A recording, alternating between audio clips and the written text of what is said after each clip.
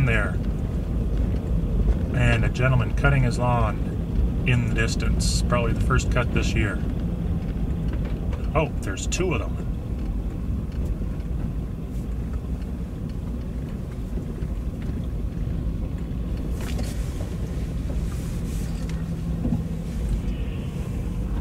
So that's lot 22 on my left, and that's uh, that's the end of the subdivision.